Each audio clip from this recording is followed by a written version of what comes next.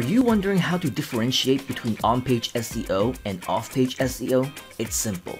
On-page SEO is everything that happens on your website. For example, on-page elements such as your website title, keywords, description, and URL are all elements you customize while building your site. Your content, such as the writing, any images or videos that you have on your sites are also on-page SEO because, well, they are on the page. Off-page SEO, on the other hand, are strategies that are applied outside of your websites. For example, with link building, this means you will have third-party websites linking back to your page. Since this happens off your page, that's why it's called off-page SEO.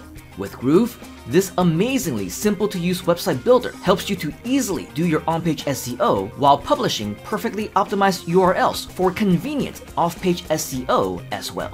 Your Groove created websites can also link to your other Groove pages, making Groove a part of an effective on-page and off-page strategy combination.